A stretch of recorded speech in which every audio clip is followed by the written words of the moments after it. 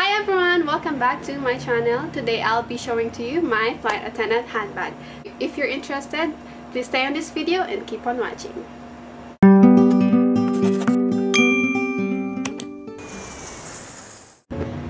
Here's my flight attendant handbag that I use every flight and itong bag namin is a company issued. So lahat kaming cabin crew sa airline namin is pare-pareho ng itsura. So uh, lahat kami um, sa side namin ng bag namin ay meron kaming uh, personal accessories or palatandaan para malaman namin kung saan yung bag namin para hindi kami magkalito-lito. So let's start. So hindi ko na muna hindi ko na muna papakita yung harap ng bag ko kasi um, security purposes. Pero, promise ko sa inyo, kung lahat ng nandito sa loob, papakita ko. Kahit may basura pa dyan, papakita ko. so, ito. And then, buksan natin yung bag, bag ko. And then, yung bag namin, lahat kami mayroong lock combination. So, buksan ko lang. Because, putok na kasi ito eh. 3 kilos kasi ito. So, sobrang daming ano yan. Ayan, sa unang bukas ng bag ko, ang makikita nyo is first ID ko. Wow! First ID ko nung nag-start ako sa airline namin and uh, mula nung nag-training um, ako sa cabin crew and hanggang naging regular ako sa cabin crew. So, so sa bag namin, meron kaming four compartments. So, start tayo sa harap, yung pinaka-first. Top priority na hindi pwedeng maiwan is yung ID. Gloves dito. to extra gloves na natira nung last flight ko. Lalo na ngayon, kailangan na kailangan na, namin to. And, ang dami. And mga ballpen. So, ito lahat ng mga ballpens ko na mga hinihiram ng pasahero, na nangihiram na crew, nakalimutan nila. Ginagamit din namin to pang fill up ng forms and pag mag-take ng business class orders. Mostly ng mga ballpen ko ay galing sa hotel sa ibang bansa. So, kasi libre lang to sa kwarto. So, kinukuha na rin namin. So, ayan. And, hints pampagising and pampabango na rin ng hininga. and then, um, highlighters para sa order taking namin for business class. Para to, kunwari itong color is for lunch or dinner. And then this color is for breakfast. So, para hindi kami malito. Hair gel para pang retouch ko sa buhok ko pag uh, masyado ng tikwas or magulo na. Lalo na pag, pag mga long flight, pag mga 12 hours to 14 flight, 14 hours flight, kailangan ko to. And, syempre, um, supply. Hindi ako gumagamit ng brush kasi mas nadadalian ko dito. Mas mabilis. Adapter for my phone. Charger na siya and earphones.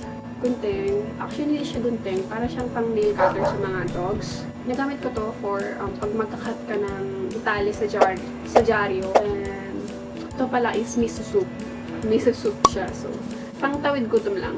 uh, oil control film. So, sobrang oily ng face ko.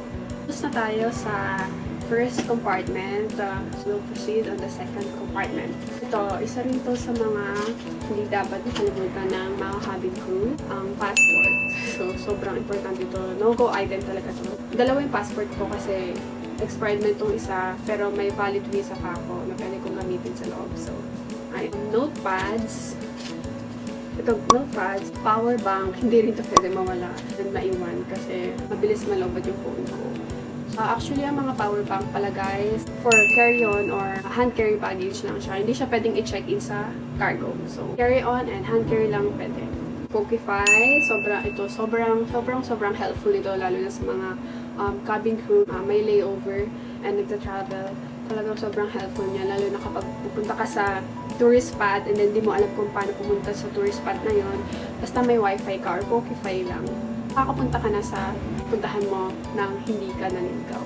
So, ang tawag actually dito is Smart Go Pokify. So, sobrang helpful niya. And guys, gumagana siya sa 60 plus countries. So, hindi ako sponsored ah, pero I'm just telling you na sobrang helpful itong Smart Go. Uh, to, nasal spray. May times kasi na naabutan ako ng sipon or nagbabara yung sipon ko lalo na pag sa layover. Ito, kailangan ko to isang spray lang. Alcohol bottles. Before magka-COVID-19, isang bottle lang yung dinadala ko every flight. And then, for one month na to. Pero ngayong may COVID-19, dalawa na yung dinadala ko. And then, ubos na siya sa isang flight lang. If may next flight ulit ako, re-refill lang ko tong dalawa na to. Colorless, polish. Just in case lang. Ginagamit din namin ito actually kapag malapit na mag-run yung stockings namin. So, lalagyan lang namin ito para hindi na magtuloy-tuloy yung run. So, yeah. so itong next compartment is uh, yung zipper compartment. So, puro siya mga makeup na pang retouch ko. So, ito, Clinique um, press powder. Then, this one is uh, blush. Ito, talagang ang ginagamit ko, palaging Clinique lang. Kasi masiyang yung skin ko sa Clinique. Pero, dating sa eyeshadow, lipstick, eyebrows, okay lang kahit anong brand. Pero, kapag skin, pag powder talaga and blush on, kailangan Clinique kasi magbe-breakout ako. Brush, pang retouch. Sephora, lipstick, red. Kasi ito yung standard color sa amin. Mascara from Benefit. Kala mo naman sponsor. And then ito rin, Clinique Mascara. Brow Pencil from Benefit. Red lipstick from NARS. This one, ito kailangan na kailangan namin itong mga cabin crew since lagi kami lumilipad. Pag nasa taas kasi tayo, nag, madaling mag-dry yung skin natin as sobrang dry na dry talaga. So, kailangan namin ang um, hand lotion palagi. So, punta na tayo sa third compartment. So, I have here my pouch. Itong sa loob ng pouch na to, uh, documents na kailangan namin sa flight, like medical certificate, important documents talaga na, na hindi kami pwedeng lumipad ng wala dito. Crew baggage tags, crew logbook, so required kaming isulat lahat ng flight details namin per flight, especially yung flying time namin for per month. Kailangan talaga siya. Required siya ng ka-up lip balm. So, and then extra hairpin just in case mawala yung mga ibang hairpin. Laman naman ng mga hairpin kung saan pupunta. and then extra button. Kasi one time, siraan ako ng button. Ay, and then nawala to. Siraan ako ng button sa coat ko. Ang ginawa ko na lang, lang pinagtutong ko na lang yung ko ng ganito. So, pangit tingnan, di ba? So, and then, I have here my baggage tag. Baggage tag ng mga napuntahan kong iba't ibang bansa. Lagay ko lang dito para for memories lang. So, to, hindi rin to pwede mawala kasi pag nagkasakit ako sa layover, meron akong mga gamot sa sipon, ubo, lagnat, sakit ng tiyan, and pag dehydrated ako. Minsan, minsan kasi nande-dehydrate ako. So, andito lahat ng gamot ko, pati vitamins ko andito. So, ayan. Mask. So, binigay sa amin ito nung last flight ko. So, may tira pa. So, gagamitin ko ito on my next flight. Order form para sa business class. Ayan. Service standard guide, guide lang namin pag mag-business class. Yung sleep roll-on, pamparelax siya. Yung amoy niya pamparelax para makatulog ka ng mahimbing and na mabilis. So, scotch tape, didikit lang namin to sa dingding sa aircraft para makita namin kung si, sino na yung next na isa-serve namin. This one, small cross and small prayer inside. And bigay din to ng friend ko para safe daw yung flight ko lagi. Uh, minsan nilalagay ko to sa coat ko, sa, sa bulsa ng coat ko or sa bulsa ng bag ko.